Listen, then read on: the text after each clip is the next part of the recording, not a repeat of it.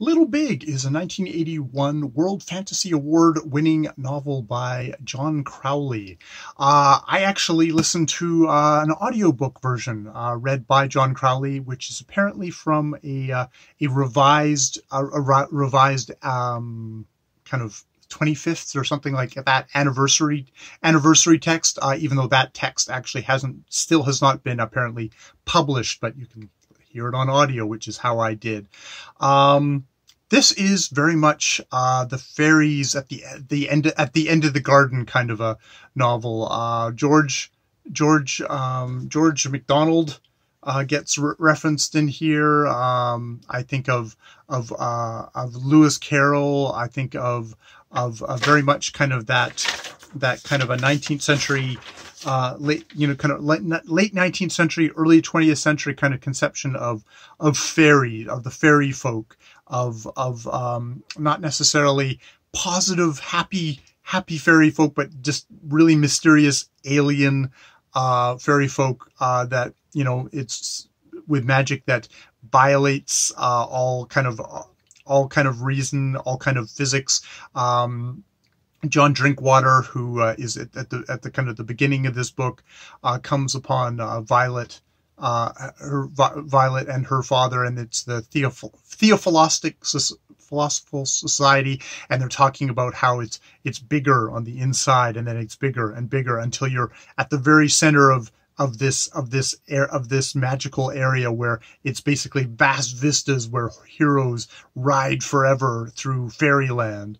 Um, and what this turns into is very much a family saga of uh, of of the Drinkwaters. Uh, Violet marries John. Uh, there's um, she's maybe already pregnant. Uh, they have uh, they have daughters. Uh, most notably, uh, Alice Alice Daly Drinkwater, who becomes Daily Alice. Um, and uh, the, the, story opens with her intended uh, jo- uh, Smoky Br- Smoky Barnable, uh, kind of walking walking to the family estate, the uh, Edgewater, which uh, John Drinkwater, who is an architect uh, who who's whose kind of bizarre, weird ideas um, get kind of he he retires to the country and just does and does and writes stories and does illustrations. But he does make this one house, this Edgewater house, which is like multi-sided. It's got different kind of a different house on each side of it. So what from depending on where you you um you you approach it, it's it looks like a completely different house. And indeed, this house seems to be the locus, the door into uh, into sort of fairyland. And there's very much a thing of uh, you know, um, Smoky is told at the beginning of the book that he has to he has to walk there. That's from the city, uh, and that's the only that's that's one of the conditions that he's that uh, that they've been given by um, a talking fish, which seems to be maybe a representation of of of these fairy folk. It's one of these books where it's not it's it's when I say it's like kind of that 19th century kind of fairy thing, uh, it's not your Tolkien, uh, not not even um, sort of uh, your your Tolkien-esque kind of or Conan, you know, fantasies with with wizards with swords or stuff like this. This is very odd, like we're in the real world, but just off to the side, there's very kind of subtle magic going along. Uh, it kind of builds as it goes along later, but at the beginning, you might be forgiven for saying like, "Oh, this doesn't seem very fantasy-ish to me," but uh, it does as it goes along. Uh, and all through this book, uh, it is also buoyed by uh, Crowley's kind of lovely, elusive, uh, dense language. Uh, he is he is writing definitely in a kind of a high literary literary tone. in some ways, it's a book that it's there's such a gush of stuff. I, I I had been I tried to read this a couple of times before this in the actual book thing, and I kind of bounced off it all those times. Uh, and finally, it's like, oh, it, I found it uh, on the uh, as an audiobook at my at my local library, and it was like, okay, I'll try it this way, and I just sort of let the language flow over me because um, I'm a kind of plodding reader, and I have like I if I I think what hung me up before is I kept on stopping and trying to understand what's going on here, what's going on here, which is sort of the wrong way to try and get into a big dreamlike magical book like this. This is one of these books where you just sort of you jump in the deep end and you sink and you drown happily. I think is how I would put it. Um, and but that to say that the things that I kind of hung on to were a lot of the very kind of human uh, relationships uh, in this book of, uh, of of lost wives, of lost fathers, of of of, of just the hardness of um, of making connections. Uh, there's a section um, later later in the book where Smoky is who's now an old an old old man is uh, kind of interacting with his son his son his son Oberon, and Smoky looked at, up at his tall son.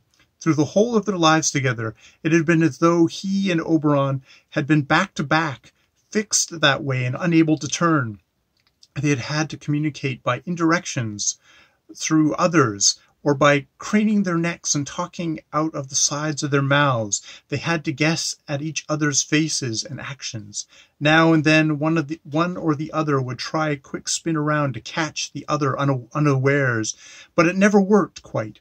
The other still behind and facing away, as in the old vaudeville act. And the effort of communication in that posture, the effort of making oneself clear, had often grown too much for them, and they'd given given it up mostly, but now, maybe because of what had happened to him in the city, whatever that was, or maybe because maybe only the increase of time wearing away the bond that had both held them and held them apart, Oberon had turned around. Slowly I turn, and all the all that was left then was for Smoky himself to turn and face him. Well, he said, believe. I don't know. Believe. That's a a word.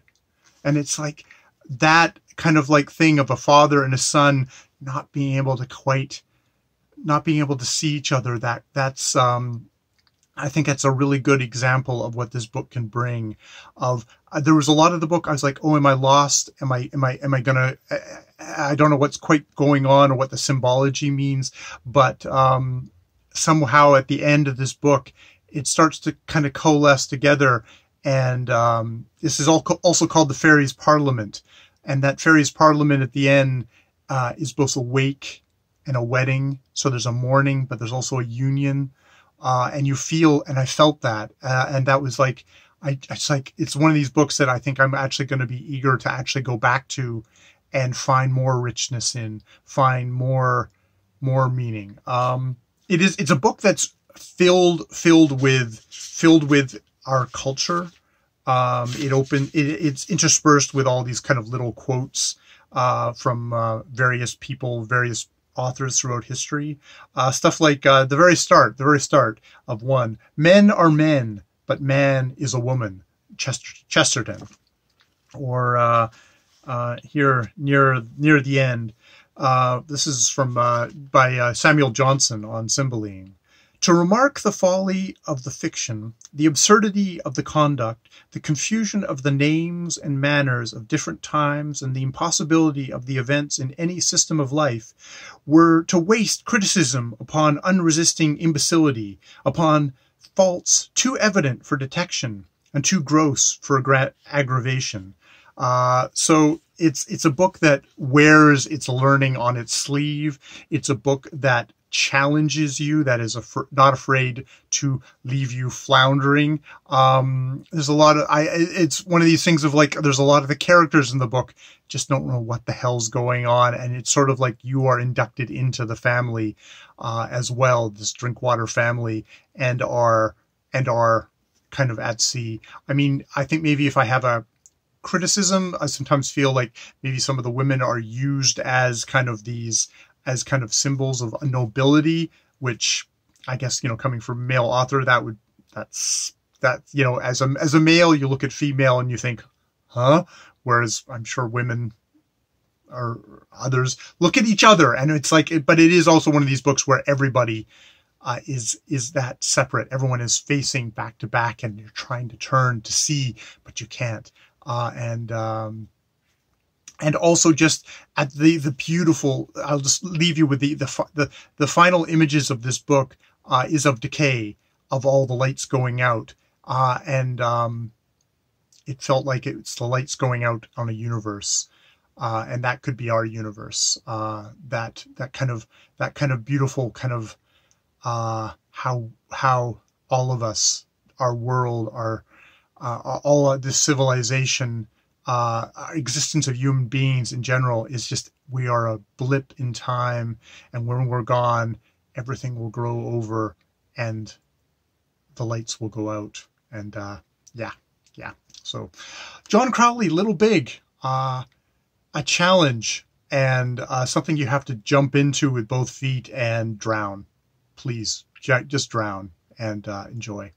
Okay, more videos later.